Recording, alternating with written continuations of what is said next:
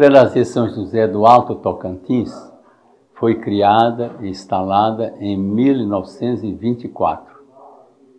O primeiro administrador apostólico foi o Monsenhor Francisco Osames Corta Claretiano. Ele dirigiu a diocese como administrador por três anos.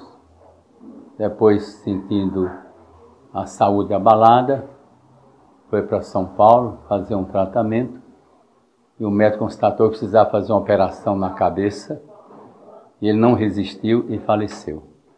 Ficou pouco tempo aqui.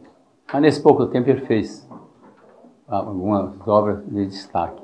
Criou a revista A Estrela do Muquem, reorganizou um pouco a, a segundo as suas condições e tinha um plano muito bonito para a prelazia, mas infelizmente a morte o colheu antes de realizar esse plano.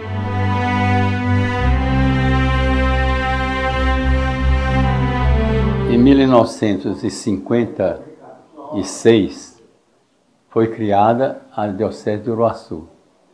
Quer dizer, transferiu a sede daqui para Uruaçu, extinguiu-se a prelazia e o bispo que estava administrando aqui tornou-se o primeiro bispo da Diocese de Uruaçu. Lá, quando ele chegou, a primeira preocupação dele foi fazer a catedral, que não existia. Então, ele levantou a catedral, as paredes, cobertura, etc., mas não conseguiu terminar. Depois, nós, tocou a nós terminarmos a catedral. Eu fui sagrado bispo em 1968, como bispo auxiliar. Fiquei um ano como auxiliar. Depois deste ano, fui nomeado administrador apostólico sede plena. Quer dizer, tinha toda a jurisdição na diocese, toda a administração da diocese, e o bispo titular ficava com título, mas não tinha nem, não, nem, não interferência na diocese. E ele passou a residir na comunidade em Goiânia, que é a comunidade da sua congregação, dos Padres Coração de Maria. E eu permaneci na diocese como administrador até 1976. Em 76 fui nomeado bispo diocesano e fiquei até 2007, quando completei a idade canônica para a renúncia e entreguei a diocese ao Papa. A Diocese do Uraçu tem a grande honra e alegria de possuir dois santuários marianos no seu território. Primeiro, Guarinos, dedicado a Nossa Senhora da Penha, um santuário que tem é, uma influência muito grande em toda aquela região, não só da Diocese, mas também pega quase toda a Diocese de Rubiataba e grande parte de outros, de outros municípios, de Goiás, de, de de Goiânia, que se acolhem ali durante a Romaria. É um centro de evangelização, tem feito muito bem em toda aquela região. Depois o Santuário de, de Muquem, que é uma escala muito maior, que atrai romeiros durante a festa de todo o Brasil. Hoje se reúne lá 300 mil pessoas a louvar a Nossa Senhora, é uma oportunidade de evangelização, de louvor e de graça a Nossa Senhora. É, a piedade, um padre, levei uma vez o padre redentorista para me ajudar lá, ele ficou tão impressionado com a piedade, ele falou, nós temos vários santuários no Brasil, dirigimos, mas onde eu vejo mais piedade é aqui em Muquem. Ele pediu até, queria até morar lá em Muquem.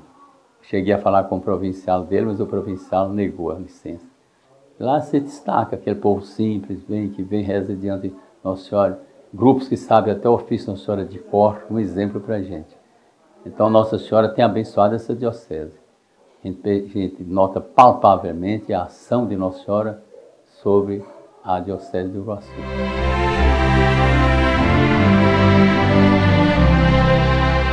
A diocese está comemorando, através de palestras, de encontros, de no, no, novenas e oração para os 60 anos da Diocese.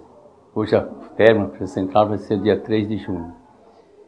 É uma grande caminhada, mas também houve um grande progresso.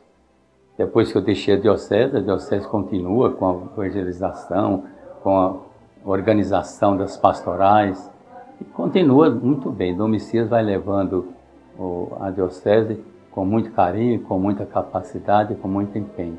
Eu me alegro pela, pelo progresso da, da diocese e parabenizo os leigos, tem leigos extraordinários nessa diocese, são verdadeiros apóstolos missionários, e parabenizo, sobretudo, os sacerdotes. Os padres são dedicados, é, cumpridores dos seus deveres e têm um grande amor a essa diocese. Então, para todos, padres, leigos e todos os agentes pastoral, eu dou a minha bênção de bispo emérito. Eu sempre estou aqui, estou sempre acompanhando. A bênção de Deus Todo-Poderoso, Pai, Filho e Espírito Santo,